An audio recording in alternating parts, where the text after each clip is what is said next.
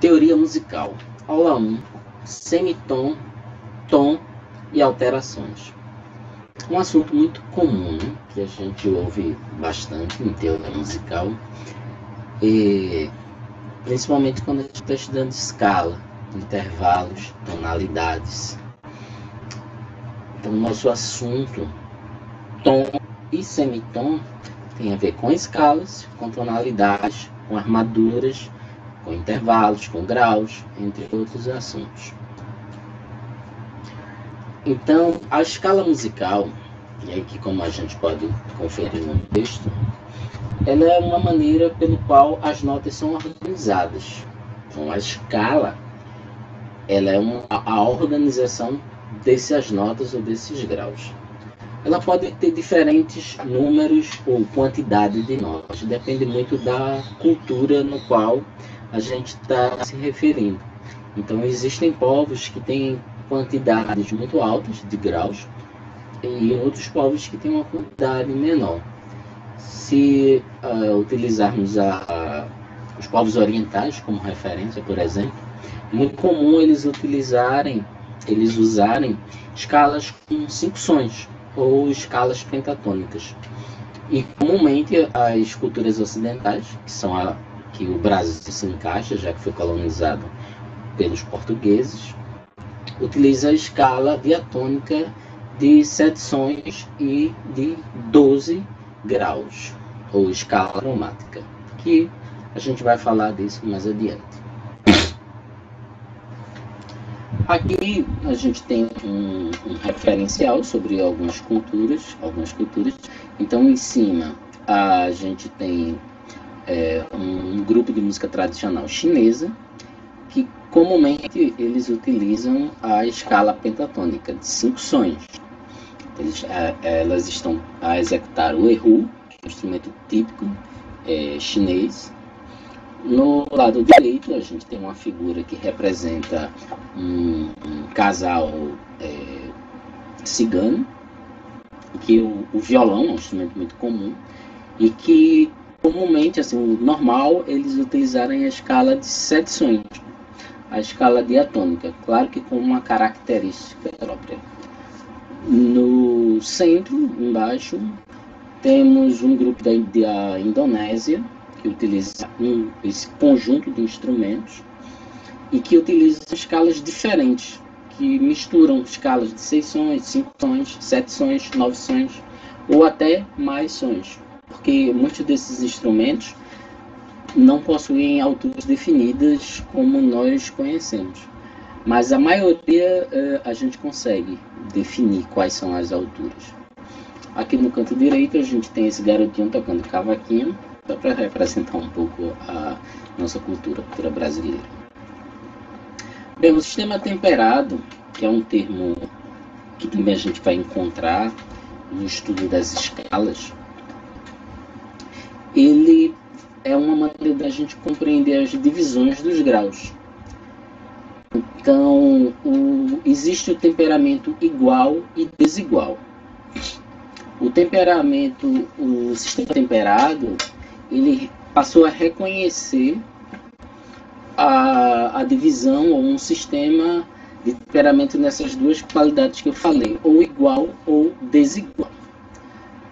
Hoje, é mais comum adotarmos o sistema é, de temperamento igual, com divisões iguais, que a gente vai perceber isso um pouco mais à frente, mais adiante. Ah, quem impulsionou as pesquisas para que a gente pudesse compreender matematicamente essa divisão foi o Simon Stephen, que era um, um matemático belga importantíssimo para cálculos matemáticos e dentre eles o cálculo é, da matemática e música, ou ciência da acústica, como a gente conhece, ou sistema temperado. Então, o sistema temperado ele estuda a propriedade desses do, dos tons e semitons, essas divisões, se são iguais ou diferentes, como eu mencionei anteriormente. Então, o sistema temperado, temperamento igual ou desigual. Então, semitom ou meio tom é, seria o menor intervalo perceptível entre os tons. Então, se a gente pensar um Dó para um Dó sustenido, a gente tem um semitom, um meio tom. Já diferente se a gente tiver um Dó para um Ré, por exemplo. A gente tem dois semitons, que seria o Dó até o, o Dó sustenido e do Dó sustenido até o Ré. Ou seja, isso, essa distância entre essas duas notas a gente vai chamar de intervalo. Então, o intervalo é o espaço entre esses dois pontos. Então, quando a gente menciona o Dó até o Ré, a gente tem um, uma distância entre os dois, uma. Uma intermitência. É, o intervalo ele pode ou não, de acordo com, com o professor ou com quem quer que esteja trabalhando em teoria, o intervalo ele pode contar, a gente contar ou calcular a partir da nota em questão que foi dada, ou a gente ignora essa nota. Por exemplo, quando a gente faz do Dó até o Ré, a gente considera que o Dó é zero. O Dó sustenido é 1 um, e o Ré é 2. Portanto, a gente tem 0, 1, 2. 0 é 0, 1, 2 são dois semitons. Existem, existem outras literaturas que calculam a nota de origem do ponto de partida como sendo 1. Confunde um pouco, né? Mas aí a nossa teoria, que é a que a gente vai adotar, sempre a nota do ponto de partida vai ser zero. Então, se eu disser, gente, vamos é, calcular o intervalo de Dó a Fá, Dó é zero, é o ponto de partida. Se eu disser de Fá a Dó, Fá, ponto de partida, zero. Ok? É, a gente falou dessa questão das culturas, né? Que aí a gente, a, a, algumas culturas elas consideram diferente essa relação com o tom e tem a ver com, com tradições. Então, a gente pega a, a nossa tradição, a tradição ocidental, a gente tem um conceito que que parte do, do, do, de um cálculo matemático. Em compensação, outros povos não necessariamente utilizam essa forma matemática ocidental que a gente tem. Eles podem utilizar um outro conceito, até mesmo um conceito místico. Um conceito que envolva a religião, por exemplo. Então, aqui a gente tem um exemplo. A gente na clave de Sol, né, como a gente está estudando, então é importante que a gente sempre esteja lendo as claves. Então, aqui a gente tem uma clave de Sol na segunda linha a gente tem a nota Sol, que está sobre a segunda linha, e aí a gente tem a nota Sol sustenido. Então, essa distância, ou seja, esse intervalo de, entre essas duas notas, a gente chama de semitom. O Sol, que é o ponto de partida, é zero, Sol sustenido é um, um semitom. Nesse, nessa lâmina, nesse slide seguinte aqui, a gente tem o teclado, o, o famoso teclas do teclado, do piano, que aí a gente pode compreender essa relação de intervalos de tom e semitom. Então, observe que aqui a gente está utilizando a, a, sigla T para tom e S traço T, ou poderia ser S ponto T ou ST simplesmente para semitom, ou MT, como algumas pessoas utilizam também para meio tom. Então, a gente tem aqui na clave de Sol na segunda linha as notas grafadas, né, com, com essas figuras que lembram a semibreve, que são semibreves. E aí a gente tem as setas comparando ou identificando elas no teclado. Então a gente pode ver que temos o Dó na tecla branca, lá em cima. Aí a gente tem a nota Ré, que está na tecla branca, lá em cima. E no teclado a gente tem, entre a nota Dó e a nota Ré, uma teclinha preta, essa teclinha preta é uma distância, ou seja, uma intermitência entre a nota Dó e Ré. Do Dó, branco, zero. Notinha preta, Dó sustenido, Ré, a próxima nota branca. E isso vale para todas as notas seguintes. Então a gente observa que lá em cima no teclado, entre a nota Mi e Fá não há uma teclinha preta, assim como no final. Se a gente observa no final, isso acontece também entre a nota Si e a nota Dó. Então, essas notas, elas não têm uma intermitência, ou seja, elas não têm uma nota intermediária entre as duas. Quando não há essa nota intermediária, a gente diz que ali há um semitom. Então, se do Dó para o Ré tem uma nota pretinha entre os dois, entre as duas notas há um semitom. Se a gente diz que da nota Mi para o Fá não existe, entre essas duas notas não há um semitom. Não há um semitom que divida essas duas notas. Quando a gente for calcular, a gente, lembrando sempre de partir do ponto zero. Dó é zero.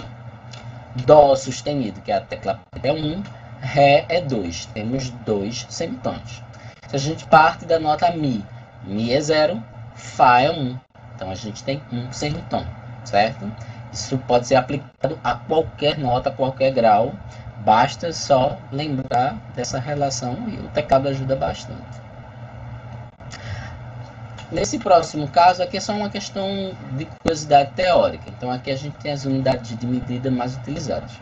O coma, ou coma com K, com a letra K, como a palavra se origina, ele compreende a, a relação entre o Dó e o Ré, que seria o 0, 1 um, e o 2, como é, possuindo nove pequenas unidades de divisões que algum, algumas pessoas dizem que ouvem essas, esses, esses pontinhos menores, mas que para a gente na prática a gente não vai tratar tanto disso. Isso aí é muito mais importante na, no processo de afinação, que a gente vai perceber que as afinações vão estar ou não precisas.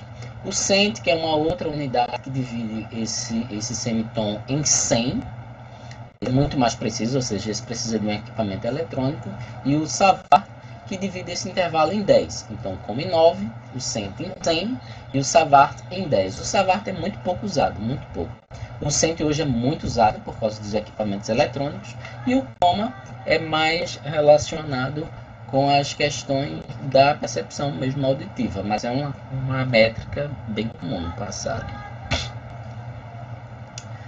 Temos aqui o a coma, o uma demonstração de como, como são calculados esses nove semitons. Então, o primeiro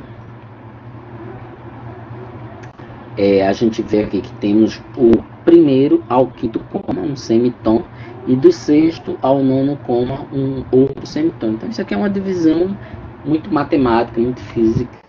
Talvez a gente nem utilize tanto isso. Na prática, hoje a gente considera que os semitons possuem 4,5 comas, ou seja, temperamento igual.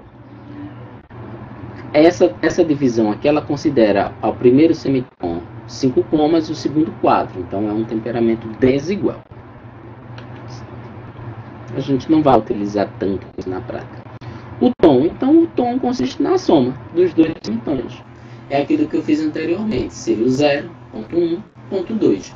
Soma o 2, aqui a gente tem dois semitons, logo a gente encontra o tom. Tom é, não é o gato do tom e Jerry, mas é a soma dos dois de dois semitons. Então aqui a gente tem esse, essa exemplificação clara, a gente tem um Sol, aí a gente tem esse ST, que significa semitom, do Sol até esse Sol sustenido, a gente tem apenas um semitom, que zero é Sol, Sol sustenido é 1, um, um semitom.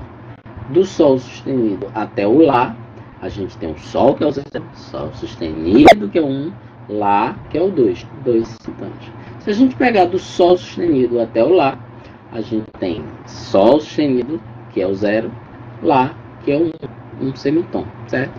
Então sempre o ponto de partida é o zero. Isso é uma regra que não vai mudar. Nas alterações, que é a terceira parte do nosso, do nosso capítulo 5 do livro, a gente fala de acidente ou alterações. Então aqui a gente tem os tipos mais conhecidos, os cinco mais utilizados na verdade. Então a gente tem aqui o dobrado bemol, que é o bemol bem baixo. A gente tem o bemol, que é o, considerado baixo. B quadro, que é considerado a nota no seu devido no lugar comum sustenido, que é esse sinalzinho bem comum aí, o hashtag é, jogo da velha, o dobrado sustenido, que é esse xizinho. Antigamente era um xizinho com alguns pontos. Ele também pode vir umas setinhas, que a gente vai ver mais adiante. Esses são os cinco que a gente vai ver mais.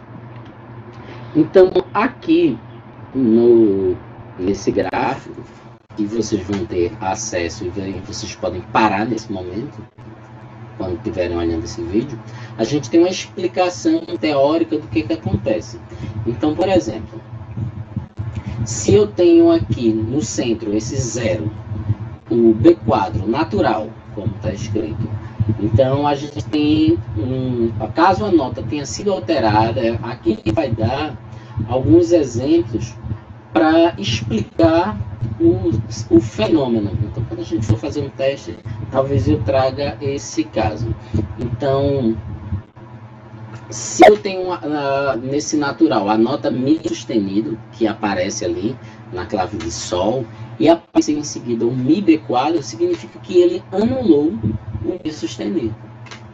Então é esse significado do zero. O zero anula qualquer alteração, ou para cima ou para baixo.